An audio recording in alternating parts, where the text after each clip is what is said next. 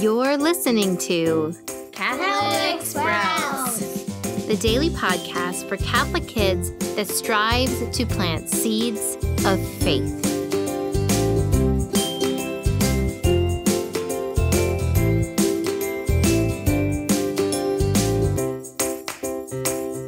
Hey there, Sprouts. Today is Tuesday, November 2nd, 2021. Today is also All Souls Day.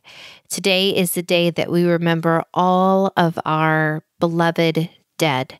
And in particular, today is the day that we pray for the souls in purgatory, for those that have died, that are going through a purification process before they are called to join God in heaven.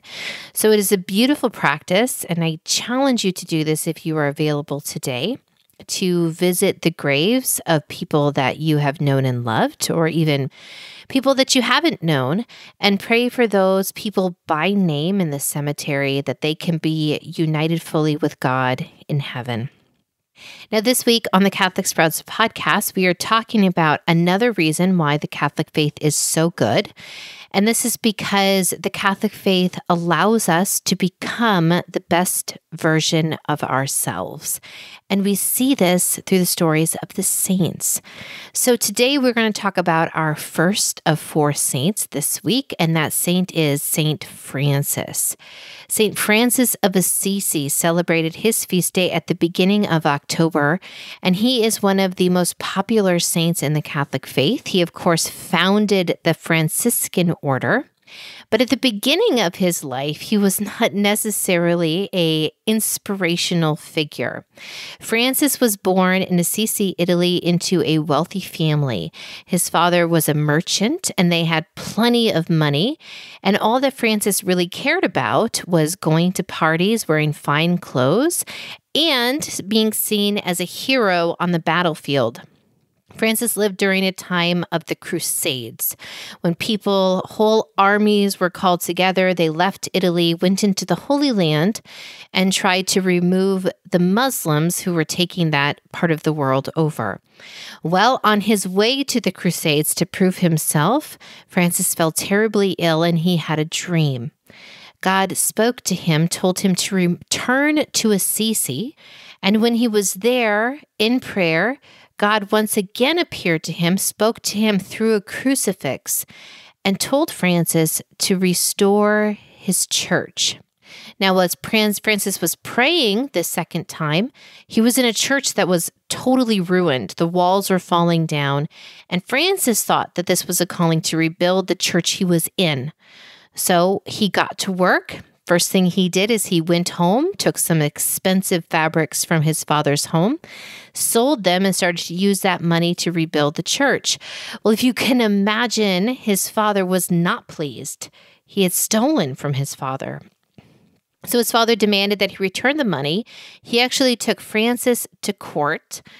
And Francis, acknowledging that he had done something wrong, not only gave back the money, but he also took off the clothes he was wearing and everything he owned, gave it to his father, renounced even his name, and proclaimed that he would be penniless, he would be a beggar for Christ for the rest of his life. And that is exactly what he did. Eventually, St. Francis realized that God was calling him to rebuild his whole church, the whole Catholic Church, to kind of restore it to the true version that Christ had intended. So soon, other brothers began to join St. Francis. They also gave up everything.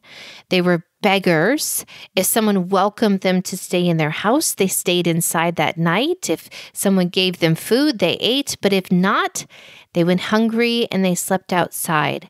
But the true mark of St. Francis and all of the Franciscans that joined his order is that they were always joyful. No matter what hardship came their way, they were joyful that this hardship gave them the opportunity to love Christ better. Eventually, when he was a little bit older, Francis actually prayed that he might truly understand the suffering of Christ. He prayed for the wounds of Christ. And his prayers were granted. St. Francis received wounds on his hands and his feet, but he remained joyful despite the fact that these wounds were very, very painful. And one of my favorite stories about St. Francis is at the end of his life, he was surrounded by his brothers, fellow monks that had joined the Franciscan order. And they laid him on the ground. St. Francis asked that he die with nothing, lying on the bare ground. And yet he was still so joyful. He actually began to sing. And all the brothers joined in singing this song with him. And it was only when they were done that they looked down and realized that St. Francis had died. He was so joyful, even though he had nothing, that he died singing. Now, the transformation of St. Francis is something that only God could achieve. To go from caring about fine clothes and people's opinions about you to owning nothing and still being so joyful, so filled with God's love. That is only something that God could do. St. Francis was very clear also about his dependence upon the sacraments. He was fully Catholic. He loved the faith. And it was the Catholic faith that allowed him to become a saint. And so, Sprouts, just a reminder that today is All Souls Day. And I do challenge you to pray specifically for those whom you have loved and lost, that they can be united with God in heaven, just like St. Francis. That's it for Catholic Sprouts today. We'll be back tomorrow, but until then, continue to grow in your faith and truly sprout into the beautiful creation that God created you to be.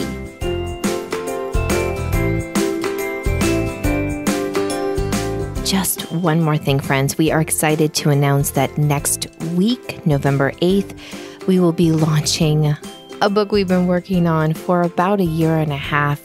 It is called The Saints and the Call to Friendship with Jesus Christ.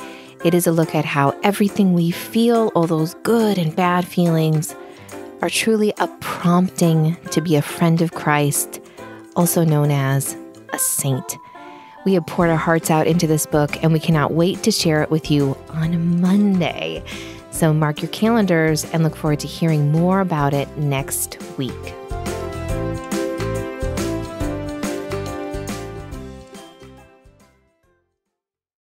This show is a production of the Spoke Street Media Podcast Network. For more great podcasts, visit spokestreet.com.